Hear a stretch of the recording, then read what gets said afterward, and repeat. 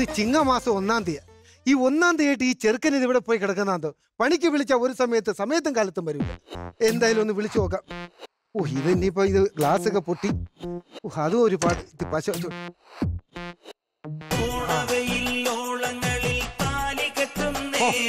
ആ പെണ്ണുമ്പിള്ള വിളിക്കുന്നു. ഓ എനിക്ക് വയ്യ. ഹലോ? എടി ഞാൻ പണി സ്ഥലത്താ ഏ? ഓ ഓ ഓ അതൊക്കെ ഞാൻ വൈകിട്ട് വരുമ്പോ മേടിച്ചോണ്ട് വരാം ചക്കര. എന്റെ മുത്തയെ ഞാൻ മേടിച്ചോണ്ട് വരാം. ഓ ഓണക്കോടിയാ? ആ അതും മേടിക്കാം. ഓ ഓ ഓ അച്ഛനും മേടിക്കണോ?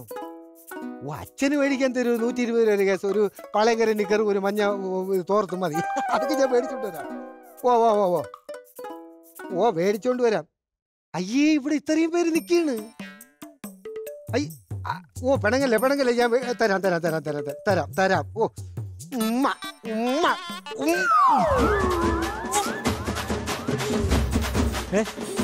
നമ്പർ ലോക്ക് കണ്ടിട്ടുണ്ട് പാറ്റേൺ ലോക്ക് കണ്ടിട്ടുണ്ട്. മൊബൈലിൽ ലിപ് ലോക്ക് ആദ്യമായിട്ടാണ് കാണുന്നത്. ഇയാളെന്താ മൊബൈൽ തിന്നു വന്നോ ആഹാ. ആശാനെ ഇതിനകത്ത് പുതിയ കവർ ഇട്ടാ? ഓ അത് പുതിയ കവറല്ല പിന്നെ? എന്റെ ചുണ്ടിലെ തൊലിയാ ഓ, ഓ, എടാ ഇന്ന് ചിങ്ങമാസം ഒന്നാം തീയതി തന്നെ അറിയാം. ഈ ഒന്നാം തീയതി നീ എന്താ താമസിച്ചത്? ഞാൻ തണൽ നോക്കി നിൽക്കായിരുന്നു ആശാനെ. എടാ പറ്റിയ പോലെ ഞാനിവിടെ കിടന്ന് പണിയുമ്പോഴത്തേക്ക് നീ എന്തിനടാ തണൽ നോക്കി നിന്നത്? അയ്യോ തണൽ ബസ്. പിന്നെ കുളിരി വന്നപ്പോ ആശാനെ കുറിച്ച് ഓർമ്മിച്ച് അപ്പോഴേ ഞാൻ ഇനി പോകുന്നു നിനക്ക് കുളിരി വരുമ്പോ എന്നെ കുറിച്ച് ആലോചിക്കാൻ ഞാനൊരു സിൽക്ക് സ്മിതേ. ഓ കുളിരി ബസിന്റെ ആശാണ് ഞാൻ പറഞ്ഞത്. സത്യം പറ. നീ എന്താ താമസിച്ച? അല്ലെങ്കിൽ ശമ്പളം തരൂല. അയ്യോ ആശാൻ അങ്ങനെ പറയരുത്. ശമ്പളത്തിന്റെ കേസ് മാത്രം പറയരുത്. ആ, പിന്നെ? ആശാനെ എന്റെ അപ്പൂപ്പന് വയ്യായിരുന്നു. നിന്റെ അപ്പൂപ്പൻ എന്ത് പറ്റി? എന്റെ അപ്പൂപ്പനാണെങ്കിൽ എന്നോട് ഭയങ്കര സ്നേഹമാണ്. ആ. അപ്പോൾ ഞാൻ എന്ത് സാധനം വാങ്ങിച്ചുകൊണ്ട് വെച്ചാലും അപ്പൊ അപ്പഴേ കെട്ടിപ്പിടിച്ച് ഉമ്മ വയ്ക്കും. ഓ ഓ ഓ ഓ ആ. ഞാൻ ഇന്നലെ ഒരു ബൈക്ക് നമ്മൾ പുതിയൊരെണ്ണം വാങ്ങിച്ചു അത് അവിടെ കൊണ്ടുവച്ച്. ആ. പുള്ളി ഓടി വന്ന് അതിൽ കെട്ടിയ ഒരു പിടി. ആഹാ. ഒരു ഉമ്മ. ആ. ഇപ്പോഴേ ആശുപത്രി കൊണ്ടുപോയി. എടാ ബൈക്കിൽ കെട്ടിപ്പിടിച്ച് ഉമ്മ വയ്ക്കുന്നതിന് ആശുപത്രി കൊണ്ടുപോകണതിന് പിന്നെ അമ്പത് കിലോമീറ്റർ ഓടി വന്ന വണ്ടിയുടെ സൈലൻസറിൽ ഉമ്മ വെച്ചാൽ പിന്നെ ആശുപത്രി കൊണ്ടുപോകണ്ടേ? ചുണ്ട് തണ്ട പോപ്കോൺ കടിച്ചാൽ ഇങ്ങനെ ഇരിക്കുകയാണ്.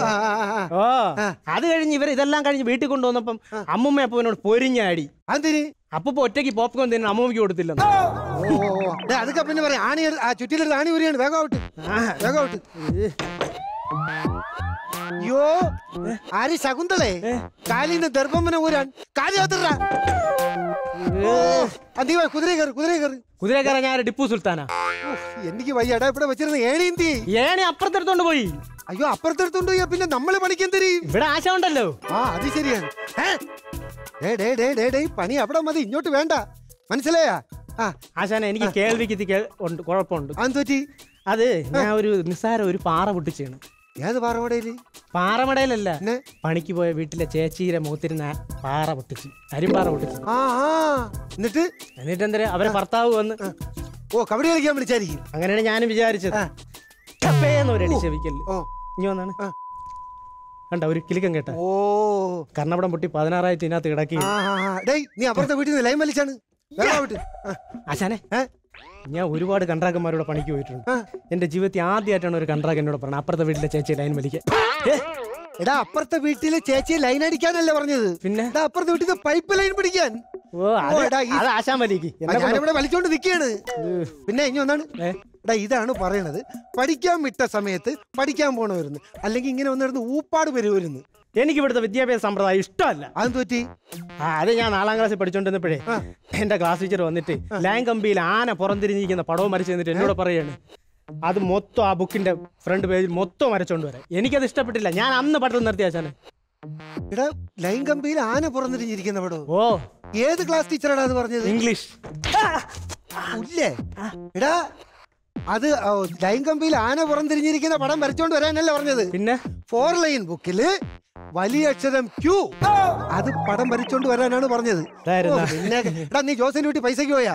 ഞാൻ ജോസിന്റെ വീട്ടിൽ പൈസക്ക് പോയി. പൈസക്ക് പോയിട്ട് ജോസ് പൈസ തന്നില്ല ആശാനെ.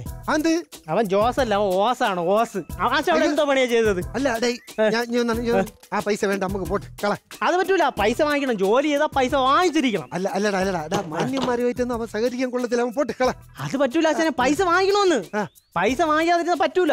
അത് അസോസിയേഷൻ ഒക്കെ ഉള്ളതാണ് പൈസ വാങ്ങിച്ചേ പറ്റൂ.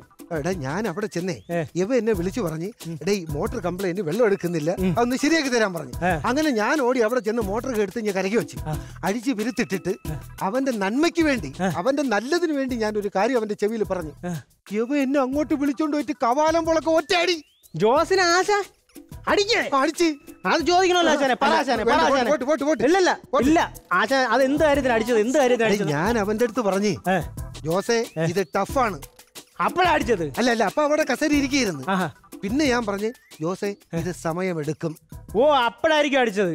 അപ്പോഴവൻ നടക്കായിരുന്നു പിന്നെ എന്താ എപ്പോഴും എന്താ കാര്യം പറഞ്ഞപ്പോഴാണ് അടിച്ചത്? പറഞ്ഞു ജോസേ ഈ മോട്ടർ വീണ്ടും കേടാവാൻ സാധ്യതയുണ്ട്. ഓഹോ അപ്പോഴായിരിക്കും അടിച്ചിട്ടുള്ളത്. ഉണ്ട്. ഉണ്ട്. നിങ്ങളുടെ നാട്ടിൽ ഉണ്ടെന്നൊക്കെ പറഞ്ഞ ഇത്രയും വലിയ കാര്യമാണ്? അയ്യോ അതല്ല. പിന്നെ? ഞാൻ പറഞ്ഞു ജോസേ ഇത് പണി അറിയാവുന്ന ആരെ കൊണ്ടെങ്കിലും ചെയ്യിപ്പിച്ചാ പോരെ? എന്റെ ഭഗവാനെ അപ്പൊ ഇത്രയും നാളും പണി അറിഞ്ഞൂടാത്ത ഈ മണ്ടന്റെ കൂടെയാണ് പണി പഠിക്കാൻ വന്നത്? അപ്പൊ പാലാച്ചൻ ഇവിടെ നിന്ന് ആടി ഉറപ്പ്.